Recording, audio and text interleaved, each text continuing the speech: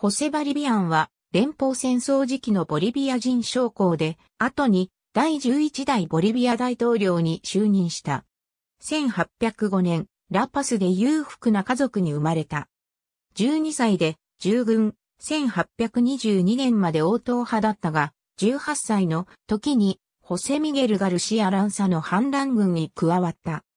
特に優秀だったわけではなく、ボリビア軍における昇進も特に早かったわけではなかったが、1836年2月のソカバヤの戦いでフェリペ・サンティアゴ・サラベリーに勝利したことには大きく貢献した。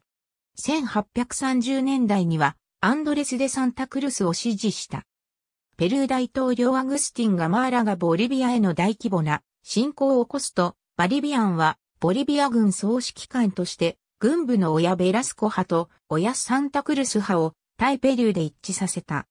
1841年11月、バリビアンはインガビの戦いでガマーラに対象、捕虜になったガマーラを処刑した。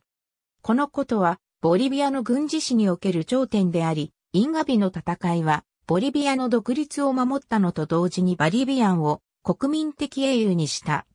これは4分5列の状態にあるボリビアにとって長らく欲したものであった。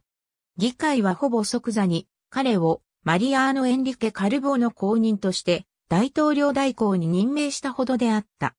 当時フランスに滞在していたサンタクルスはバリビアンの人気を見てバリビアンの大統領就任に同意、自身は帰国しないことにした。1842年に大統領選挙で当選すると、バリビアンは憲法改正など重要な改革を実施した。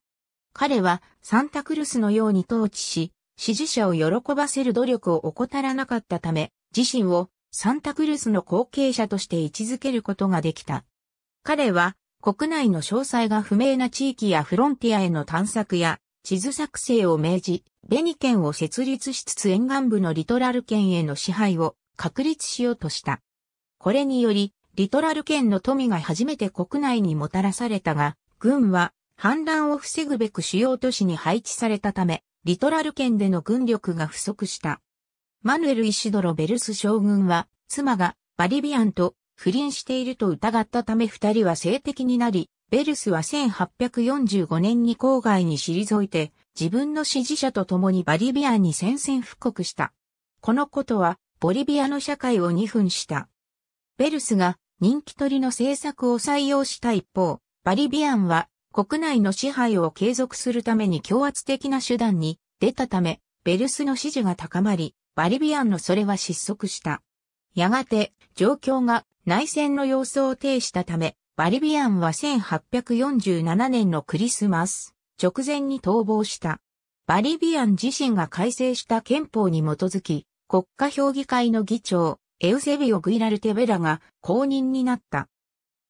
バリビアンはチリに逃亡した後、ブラジルのリオデジャネイロに移り、そこで余生を過ごした。1852年、リオデジャネイロで死去。遺体はボリビアに送還され、国葬の待遇を受けた。息子のアドルフォ・バリビアンも政治家の道を歩み、1873年にボリビア大統領に就任した。